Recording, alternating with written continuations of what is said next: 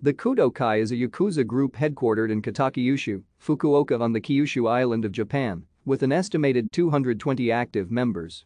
The Kudo-kai has been a purely independent syndicate ever since its foundation and has caused numerous conflicts with the Yamaguchi Gumi. The Kudo-kai is the largest yakuza group in the Kitakyushu area and like other Yakuza groups based in the northern Kyushu region, it is noted for its extremely militant stance by using the likes of machine guns and hand grenades in their activities.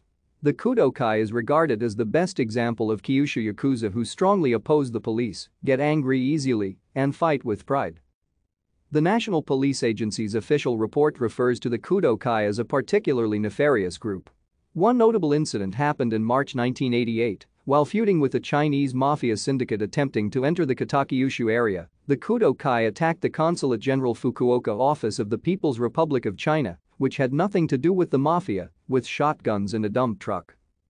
The Kudo-kai is a member of an anti-Yamaguchi fraternal federation, the Yonsha-kai, with three other northern Kyushu-based organizations, the Taishu-kai, Dojin-kai, and Kumamoto-kai.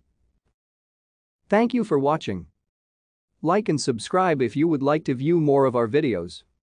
Have a nice day.